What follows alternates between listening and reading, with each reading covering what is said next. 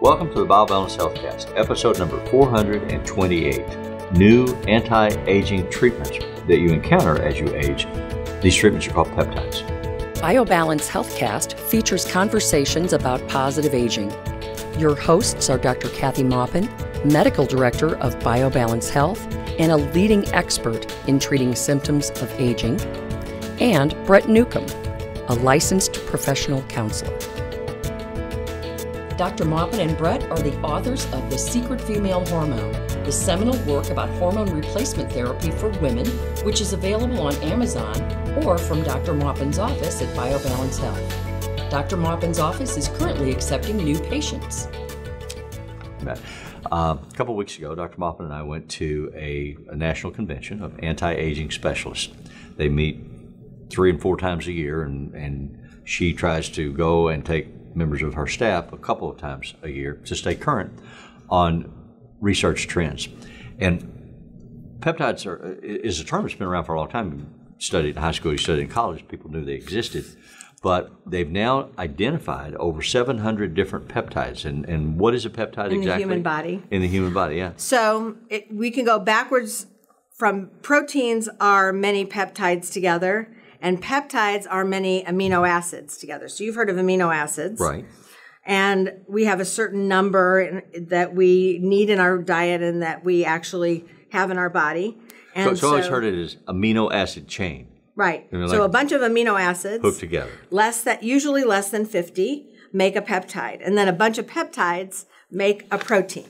Okay. So that's so that's where it comes from, but these peptides are communicators in your body. And some of them you've heard of. You've heard of um, FSH and LH are the two hormones that stimulate the ovaries and the testicles. You've heard of um, TSH, thyroid stimulating hormone. That's a peptide. And many of these communicators we have uh, the ability to uh, test, and we also have the ability to replace or stimulate by using drugs that are now on the market. One of the most, the oldest peptide that we've used as a drug or as a replacement is insulin. Insulin is, is a small string of amino acids. Okay. And, and, and, insulin normally is produced in your body. In your pancreas. In your pancreas. And, and it's for regulating regulate, absorption of sugars? Yes. And, you need to have it to live. It, you'll, before, you'll, die without it. Before insulin was was discovered, mm-hmm. uh, people died. I mean, being told you had type 1 diabetes, and usually it was children that had type 1 diabetes. Now we have both adults and children. But it was a, it was a uh, death sentence, and and so they you needed it type to stay 1 alive. diabetes as an adult. Yes. And if they didn't manufacture insulin, or, or if something happened, I used to read these apop- apocalyptic novels when I was in high school and college, you know, about nuclear war. This is not aftermath. reality. No, it's not. uh, but they, they, were talking about if you lose refrigeration and electricity, mm-hmm. all of the diabetics will die.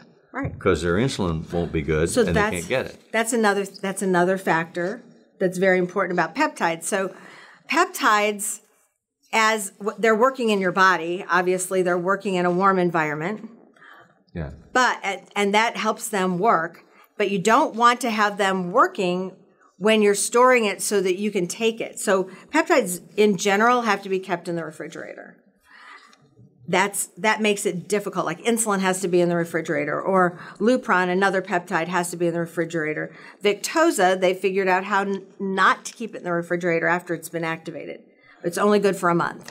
So, so what is Victoza? Victoza is a is a uh, drug for type 2 diabetes. It's a peptide, and uh, it's liguride is the is the uh, generic name, and it is used in a shot to help type 2 diabe- diabetics lose weight, not produce so much glycogen so that they don't make as much fat when they eat. They also have a slower emptying of their stomach so they feel full longer. So it really does help weight loss and it does help type 2 diabetics lose so weight. somebody that's on a uh, Victoza prescription Mm-hmm. or liguride, liguride, Liguride.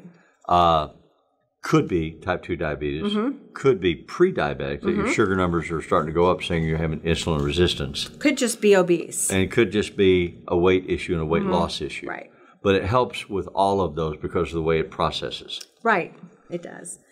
But And- it has to be. It, has to comes be in a injected. Mm-hmm. package that's refrigerated. If you have it delivered to your home, it- the package is refrigerated, and then in the package there's a pin Mm-hmm. that you have to put a needle on the end of, and then you have to twist it to activate it. And once you've done that, you can have that pin out for Mm-hmm. And a month. I mean, you, One month. Yes. That's it. After that, it's no good. and then you need to get rid Goes of it bad. because it's the activation process yeah, deteriorates. the, yeah, the the peptide deteriorates, so Right. it's not going to work anymore. So, so the reason you can't take it orally is a peptide's like just like eating a protein.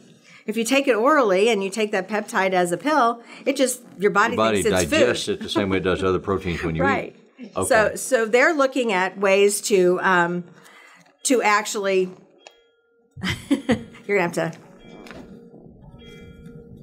I, I think that's uh, That's me. yeah. Damn it.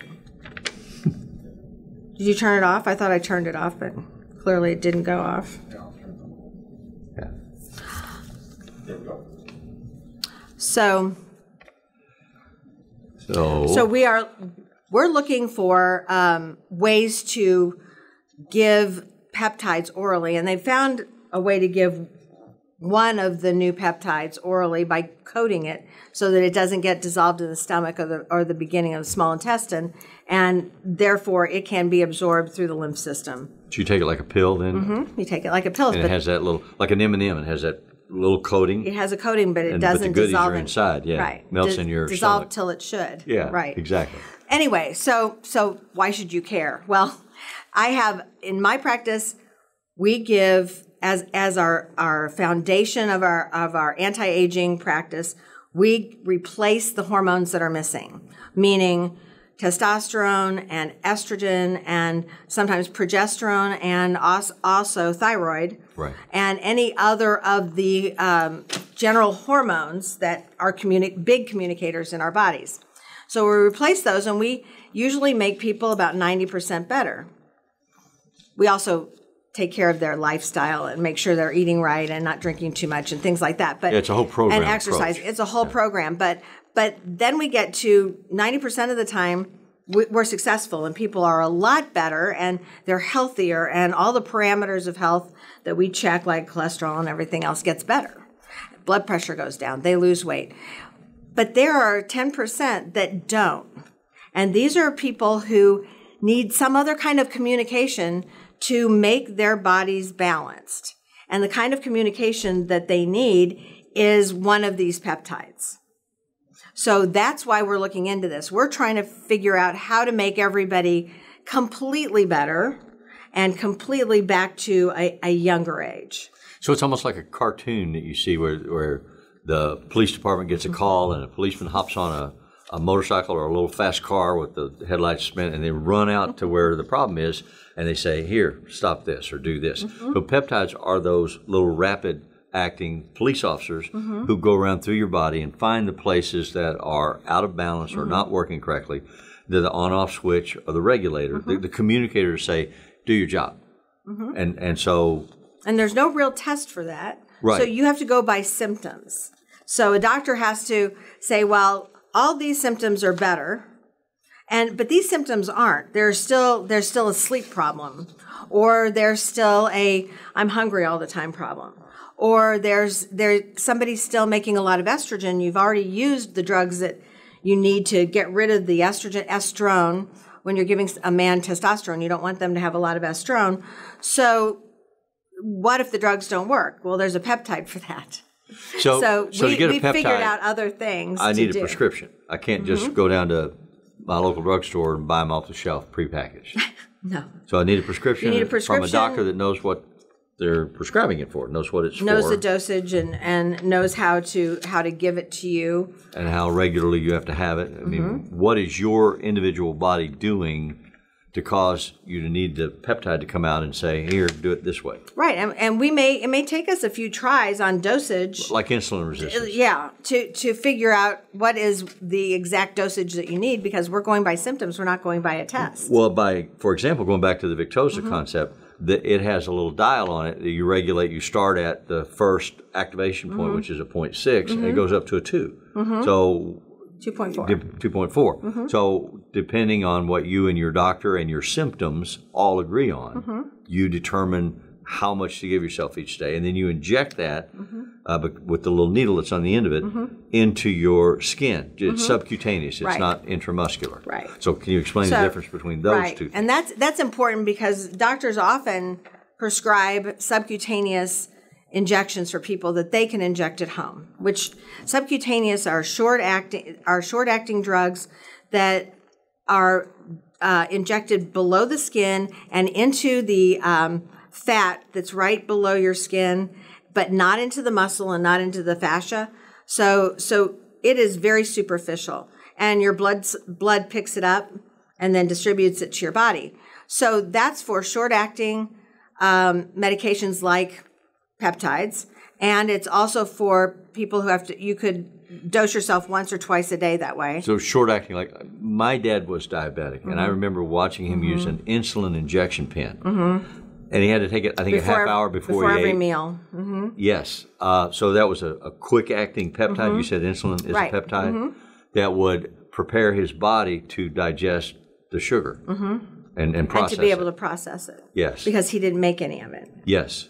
So so that's that's what the sub Q works fast Mm-hmm. and and many of these peptides don't require you to have a long acting uh, effect. One little surge of it oftentimes will then trigger the downstream everything that happens downstream It's like that knocking fixes over a row everything. of dominoes. Right. They all just go out and fall down. So it doesn't need to have uh, a lot of a lot of um, le- uh, longevity in your body. So that's sub Q injections, and that's the ones that that we can train people to give at home. Right. And it's not dangerous. There's not you don't have to use a lot of scrubbing or anything before you do that. but they're not all related to if you if you don't have this or can't do this, you die. I mean, like insulin Insulin's different. is a, it is a peptide, but it's a uniquely uh, serious one. yes, it is. And there are others that we've now identified. That uh, part of what we were learning at this workshop is there are over 700 peptides that the chains that they've identified, Mm-hmm.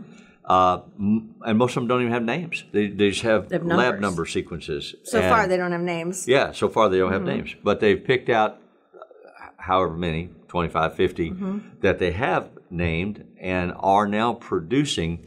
The FDA doesn't uh, approve of the peptide prescriptions yet, but they do recommend or require that you only use them as long as your symptoms last. Right. Am I understanding that correctly?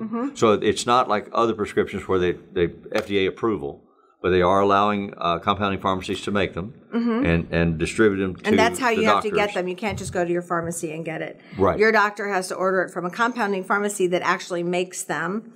And then it has to be sent, if it's already reconstituted, usually it's sent in a cold pack.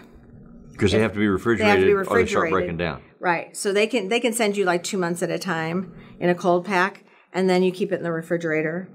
Most of the time, you should keep it in the refrigerator as much as possible. But if you have to travel, you can put it, keep it in a cool area, like on the floor of the plane, where it's really always cold. You know, so at, at the bottom of your purse, or the bottom of your and bag. generally, you never put your medicines in your uh, checked luggage. Always take them in Yeah. your carry-on, and Mm-hmm. that way you can set it on the floor of the plane, and it, it's helpful. Let me let me go back to one thing. Yeah. I, I, the the difference or the c- comparison to sub Q injections and um, must IM deep IM injections. That's like how we give testosterone cypionate. That's a Yes. synthetic testosterone. I don't give it, but that's how it's given. So that is something that you should have a professional give. You shouldn't give it to yourself because you have to scrub the skin. You have to have it in this particular area and it goes deep into your muscle. So if you have bacteria on that, you can set up a, an abscess and it's a huge problem. So sometimes that leads to emergency surgery and removal of some of your muscle, which is not the goal with people who are getting their testosterone that way. No, I was laughing because years ago my doctor prescribed that for me, Mm-hmm.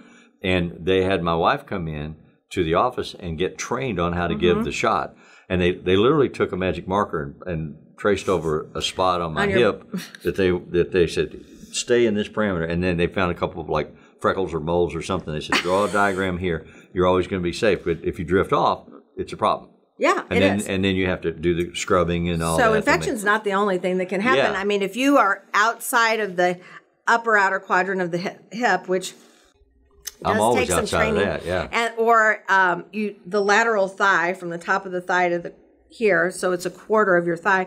That's safe, but if you go outside of that, you could be in a big nerve or a big uh, blood vessel. So, so in the companies or the doctors that give shots, usually they have you come in every couple weeks to get the Right. shot because they don't want you to run into one of these problems. Right. And the other problem is that sometimes people just go, "Oh, I think the whole whole vial looks good. I think I'll just give myself the whole vial." Why can't I do this at home? Well, Yeah. because you're an idiot, No, and we need to supervise I didn't say this. that. No, no, you didn't say that. Yeah. That's that would They, be you. they said, actually, bring your wife in and let us see how smart she is if she can figure this out. Yeah, trained. but they tend not to do that because that just takes so much time, Well, that- and, that was and it's years still ago. Yeah. questionable. If I have somebody who has an RN, yeah, I mean, if they have an RN wife, then that's a possibility. Right. They can, they know how to do that. So that's I just want to make sure everybody understood that difference and why we say, oh yeah, you can give yourself shots with this and not with not with the deep Because IM it's a injection. sub-Q. Yes, because it's very very. and then you don't have the same sanitary issues. requirements or bleeding. I mean, or, you have to be clean. I mean, Yeah, you have to be clean, never but you don't have to scrub. Mm-hmm. puncture your skin. Uh, but you don't have to sterilize the area, and Mm-hmm. you don't have to go worry about nerve damage or blood vessel damage Yeah. you're not going to get in far. because that could be an emergency. Okay. Yeah. And you don't have to worry about that. So, so there is so much that we are learning about peptides, and it's an exciting new transition, additional tool in the kit bag for anti-aging doctors who specialize in anti-aging practices. And come back next week, and we're going to talk some more about the specific ones that Dr. Maupin is going to use in her practice, what they do, why she uses them, and how they work. So, so come back and learn about that. Thank you. Thank you. Email your questions or comments to podcast at biobalancehealth.com. You can find the BioBalance Healthcast on iTunes and on YouTube.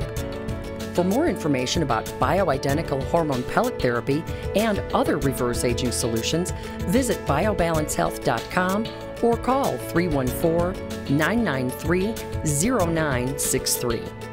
You can find Dr. Maupin on Twitter at Dr. Kathy Maupin and on Facebook at facebook.com slash biobalancehealth. Find Brett Newcomb at brettnewcomb.com.